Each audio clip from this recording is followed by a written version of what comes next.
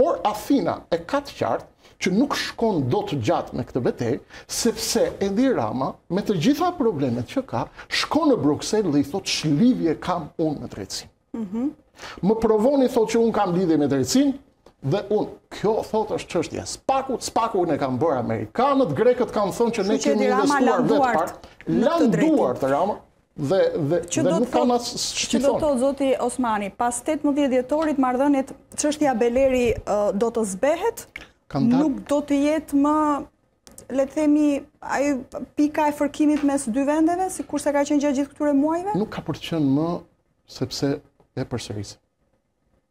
Fredi Beleri nuk është fare ke llogaritë e Athinës. Është vetëm një kalë betejë momentar dhe i themi të gjithëve që Athina ka gati katër emra sot për të zëvendësuar Fredi Belerin. Njëri është nga minoritarët e Shteteve të Bashkuara të Amerikës po bëhet gati t'i hypi avionit dhe të vijë të kandidojë.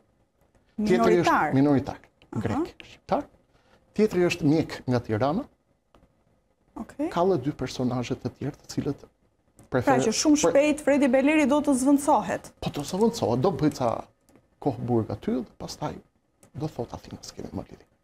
Çështje e drejtësisë Shqipërisë, të vazhdojmë proceset integruese, stabiliteti i rajonit, fqinjësia e mirë, iku, do harrohet Fredi Beleri. Që nga janari 2024, marrëdhëniet mes dy vendeve rikthehen ashtu siç ishin. Absolutisht.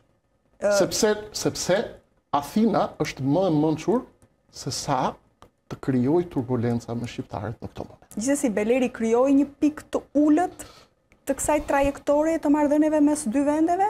Po, e tronditi, e tronditi pakëz, ne kemi folur, është është për është keqardhje e madhe që Athina zyrtare të tregojë interes për një personazh i cili ende nuk e ka pastruar CV-në e tij nga gjaku i shqiptarëve.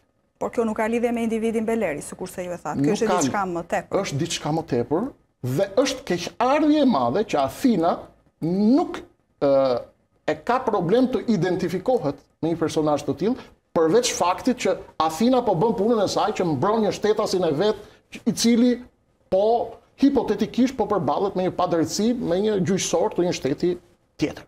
Pra çdo shtet e ka detyrë të kujdeset për Bruna Çifligun dhe për Kreshnik Osmanin, kur ne të dy ti në Kolumbi, unë në Argjentinë të biem burg, shteti ynë duhet të kujdeset për ne.